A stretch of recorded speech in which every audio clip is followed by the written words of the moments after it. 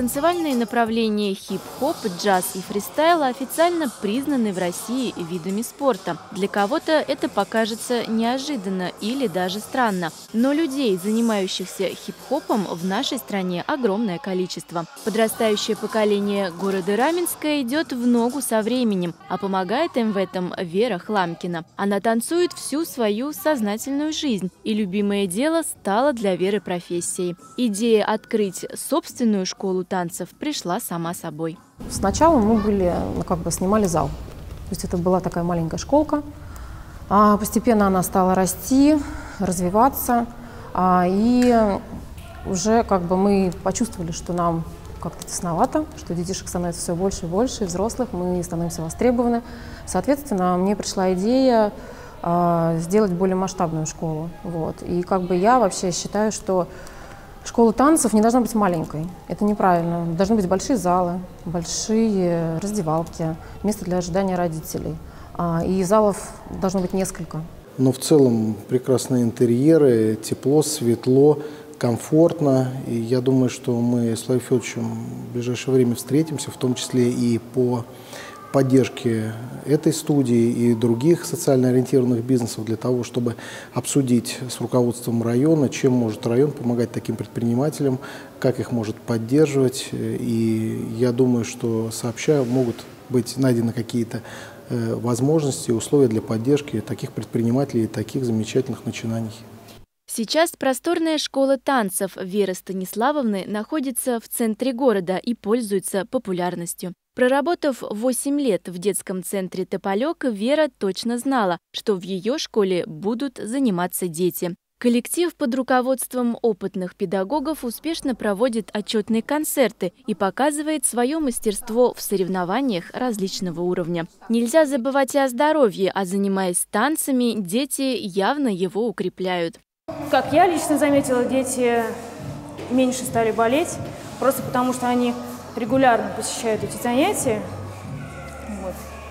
И прежде всего им нравится здесь заниматься. Я думаю, что это самое важное. Данный проект, он самый крупный, я считаю, в городе. А, и социальный. Вот, потому что мы идем навстречу ко всем детям, к родителям. Соответственно, у нас а, очень большое количество детей, порядка 250-300. И оно с каждым днем растет. А также к нам ходят и взрослые, то есть у нас есть разные направления, и фитнес, а, и бальные танцы, и современные клубные танцы, и уличные танцы. Школа танцев Веры Хламкиной коммерческая – Трудностей возникает много, признается Вера Станиславовна. Большая арендная плата помещений, кредиты и многое другое. Но при всем этом проект социально ориентирован, а значит, есть все шансы рассчитывать на помощь и поддержку со стороны представителей власти. Мы как законодатели приняли сейчас закон, по которому э, для социально ориентированного бизнеса устанавливаются э, льготные ставки э, для аренды таких помещений.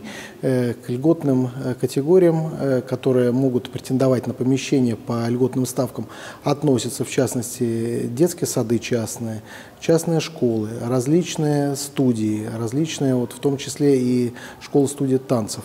То есть есть соответствующий законопроект, который мы приняли в прошлом году, и такие предприниматели, как в частности Вера со своей школы-студии, может обратиться к городу, и город, в общем-то, должен и может изыскать возможности для того, чтобы, в общем-то, школа-студия развивалась, чтобы открывались новые филиалы. Но у нас э, есть масса скидок для детишек и родителей, то есть для многодетных э, значит, семей, для малоимущих, э, потери кормильца и различные ситуации. То есть я все это рассматриваю, э, как бы мы обсуждаем и идем обязательно на встречу, делаем э, скидки.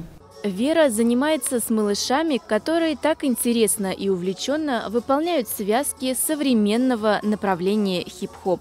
Данный вид танцев популярен и, конечно же, среди молодежи.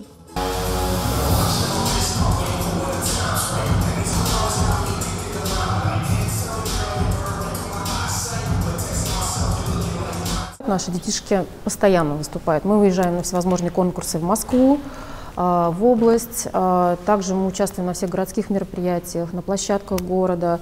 Также очень часто участвуем а, в Борисоглебском на открытии спортивных мероприятий. Вот, всевозможных ДК нас приглашают. Вот, ДК Дементьева постоянно нас приглашает, ДК Мукратова. То есть э, наши дети постоянно выступают, дарят всем красоту, любовь к танцу, и как бы мы пропагандируем это и, соответственно, радуем всех жителей нашего города. По словам юных танцоров школы Веры Хламкиной, занятия учебе не мешают, а даже наоборот, придают новые силы и уверенность в себе. А преподавательский состав пристально следит за изменениями в танцевальном мире. Екатерина Алфимова, Сергей Яковлев для программы «Городские вести».